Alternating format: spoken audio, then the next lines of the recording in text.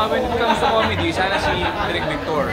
Victor, yun na. may ba, yeah. And si- pag sa mga, yung, yung mga script kasi nasusulat na comedy tsaka uh, na thriller, si Direk Easy Ferrer. Sana mga trabaho siya ulit.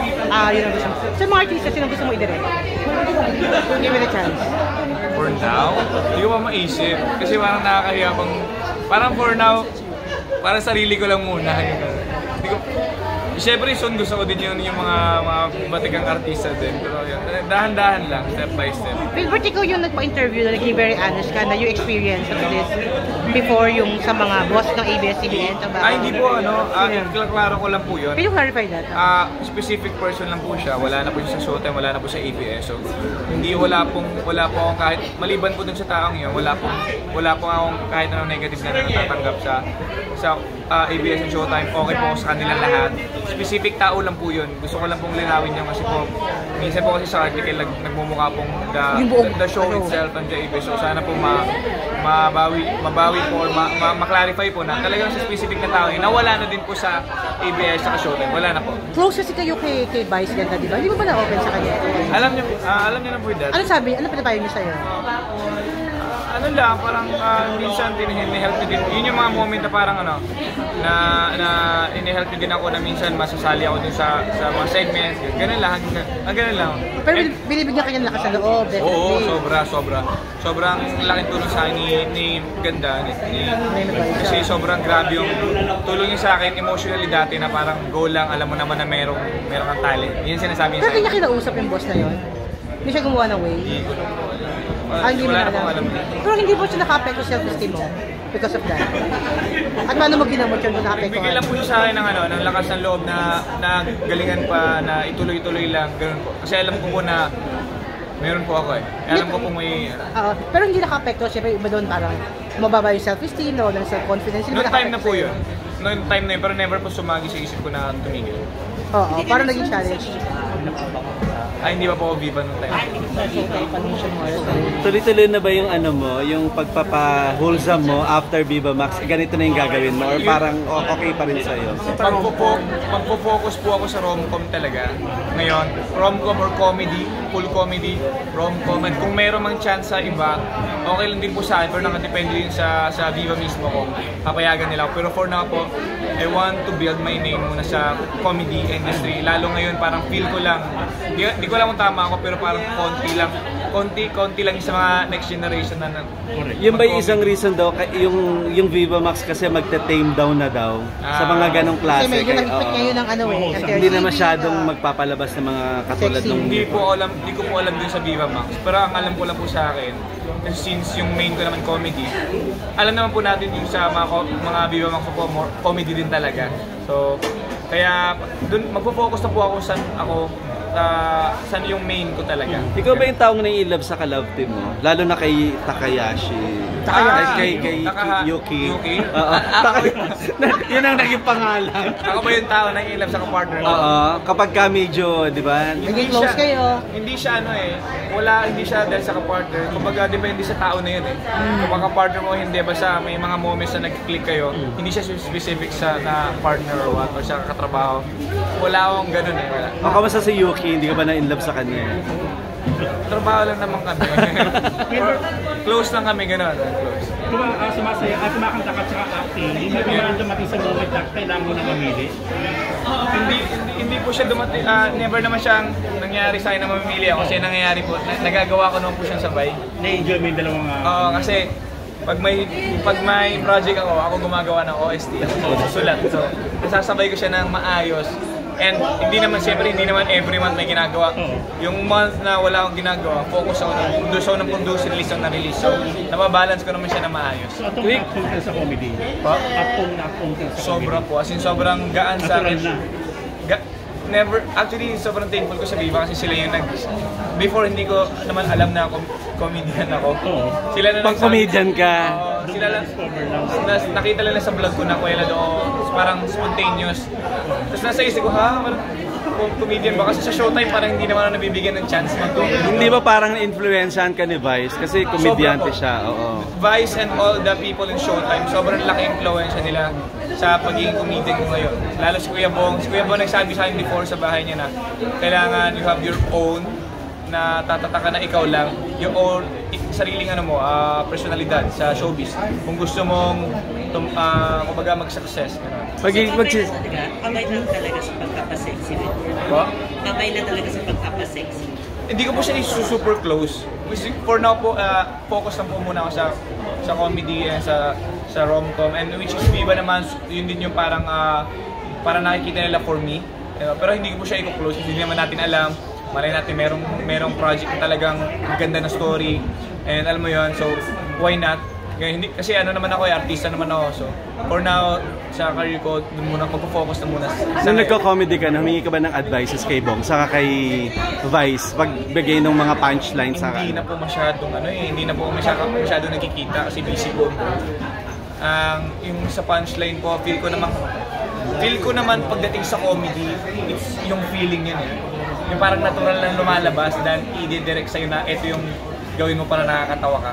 So, mas doon po ako nagre-rely sa, sa guts ko, yung feeling ko na ito yung adlibs ko. Yun po yan. Mm. Para maging effective. Sino mga comedian natin ang gusto mo makasama?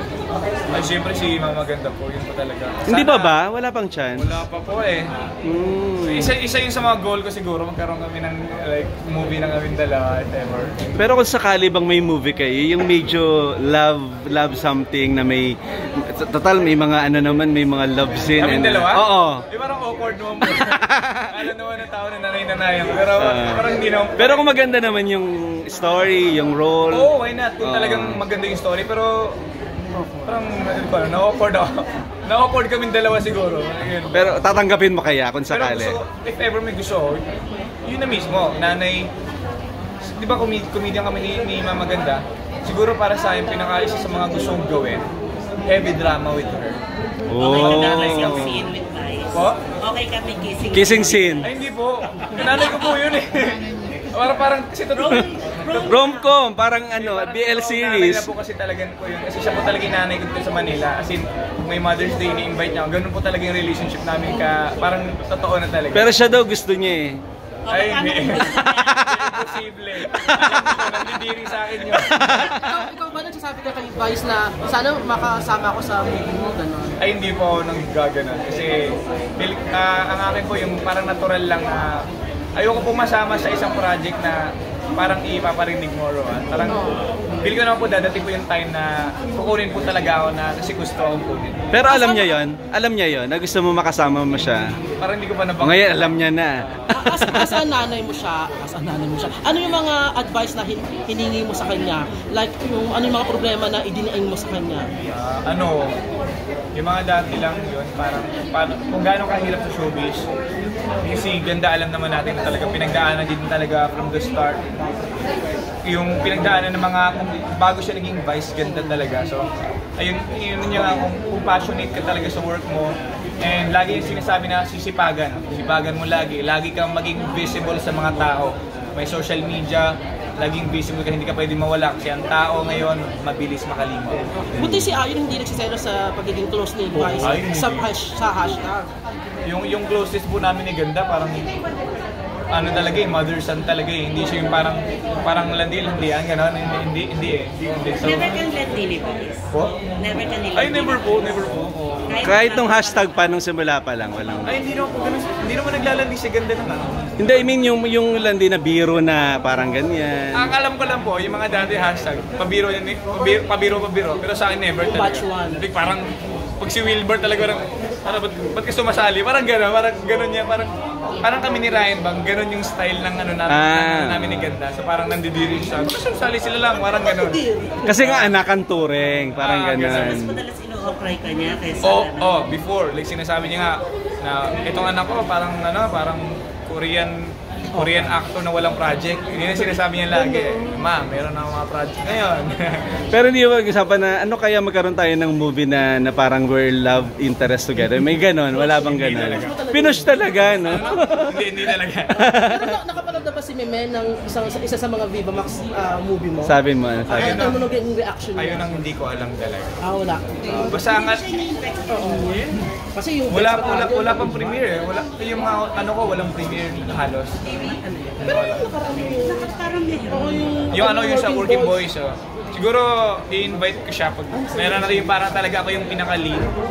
And pag may premiere man sa Cineano, sana, yun, i-invite ko siya. doon. Hindi, hindi kanya binibirong napanood ko yung Viva Max ano, na nagpakita ka ng ganito, ganyan. No? Hindi naman, ang alam niya lang na, ano, parang binibiro na, ah, ito yung anak kong ball star. Ang reaction mo? Wala, tawa lang din ako. Ma, ano, comedy naman yun. May konting kwet-kwet lang. Pero parang na, na-identify ka na boy bastos dahil doon ka nagsimula, di ba? Yeah, Ngayon pero- ba? Pero, Bastos ba? ah, hindi ko lang ako In lang. real life ba? Hindi ko alam kung ako lang pero I mean ah, masasabi ko na kilala ko si Boy Bastos as nakakatawang si Boy Bastos. Nakakatawa siya dun sa Boy Bastos dahil naghuhubad siya dun sa Boy Bastos. So parang Yung, yan. yung question ko sa'yo, if you, if you wanna answer it or not, kasi parang ang kadalasan nagiging role mo, parang virgin, Yeah, parang ganyan. oo. Eh, ang tanong nila, Virgin ka. virgin ka pa ba daw? Ano po, medyo lang po. Bakit medyo? medyo lang. Kumbaga, dulo-dulo lang. Hindi natutuloy? Ah, yung mga ganung bagay po, ano po yun. Parang, ah, yun na po yung isa sa mga mystery. Hindi ko Wow. sasabihin hindi ako virgin, hindi, hindi ko rin sasabihin na virgin ako, mystery na yun. Pe- Pero malaking factor ba sa'yo pag sinabing virgin ka or not virgin? Hindi naman. Mm-mm. Para sa akin pagkatao po din. Di ba? I mean, O ba tayo mong uminin? Ayaw mong aminin. Virgin ka nga siya. ako syempre, di ba? Kumbaga, pag sinabi mo lahat, ano pang aabangan nila sa'yo? Ah, soon sasabihin mo, pag hindi na. Hindi ka, di ba sigurado? Ah, issue ba sa'yo kung virgin or hindi ang girl? Ay, hindi. Hindi. Thank you. Ah, mad- madami naman sa mga ba- babae na parang nag-trust na din sila at akala nila na yun na yung lalaki. Kaya kaya nabigyan nila yung bagay na hindi dapat, pero mali pala. So, we can judge. At saka kahit nga yung mga mga tao, hindi sa ba- babae lang ah, may mga tinatawag na hoe face. Yung parang mag-enjoy ka lang, mag-enjoy, enjoy mo lang yung kabataan mo. Pero hindi naman yung nagde-define na masama kang tao or parang ano ka talaga, makati ka. Ma nag enjoy ka lang, tapos nagsisettle ka din at, at some point sa isang tao. Kamusta na kayo ni Zainab? We're friends, super supportive ni Zainab ba? Nag-message-message kami unti-unti, gano'n. Yeah, sobrang supportive. Hindi niya bin- niloloko ba dun sa mga movie mo at sa mga... Hindi namin napag-uusap. Ay, hindi talaga. Hindi naman, hindi naman. Mm-mm. Ang alam nilang, parang proud siya sa akin na nagkakaroon ako ng project ngayon na napapush ko yung acting ko na dati hindi. Ayan. Mm-mm. Will, Bert, kailangan ba? Pag